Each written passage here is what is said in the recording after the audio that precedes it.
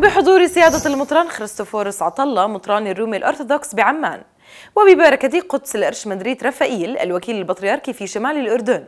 أقامت لجنة مدارس الأحد في بلدة شطنة في شمال المملكة وتحديدا في كنيسة القديس جوارجيوس مخيما صيفيا لطلاب المدارس بعنوان وازن قلبك وقد اشتمل المخيم على العديد من الفعاليات والنشاطات المتعلقة بالجوانب الروحية للطلبة ودور الكتاب المقدس وأهمية الاعتراف في حياتهم.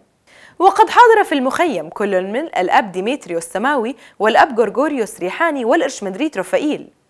وقد نال الحاضرون بركة سيادة المطران خريستوفوروس الذي قدم لهم كلمة روحية تلتها لحظات مليئة بالمحبة الأبوية من سيادته. وفي ختام الحفل قام قدس الإرشمندريت رفائيل بتوزيع الهدايا التذكارية على الطلبة والمرشدين متمنيا للجميع المزيد من التقدم والنجاح في ظل الكنيسة المقدسة.